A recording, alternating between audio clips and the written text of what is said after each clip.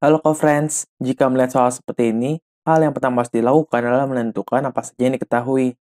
Diketahui, sebuah kapal menembakkan gelombang ke dasar laut melalui osilator dan menerima gelombang pantulannya 4 per 15 second kemudian. Artinya T sama dengan 4 per 15 second.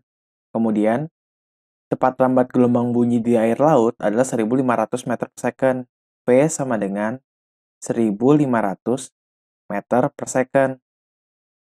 Kedalaman laut adalah, nah sekarang kita gambarkan. Misalkan ini adalah kapal, dan di sini adalah dasar laut. Jarak dari kapal ke dasar laut kita anggap sebesar S.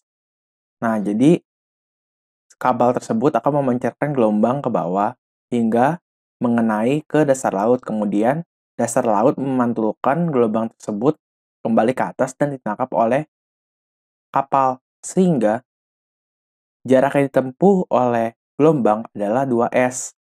Sama dengan V dikalikan dengan T. Nah, S sama dengan V dikalikan dengan T dibagi dengan 2. V adalah 1500, T adalah 4 per 15, dibagi dengan 2. Sehingga kita akan mendapatkan 200 meter. Jadi jawaban untuk soal ini, kedalaman laut adalah A, 200 meter. Sampai jumpa di soal berikutnya.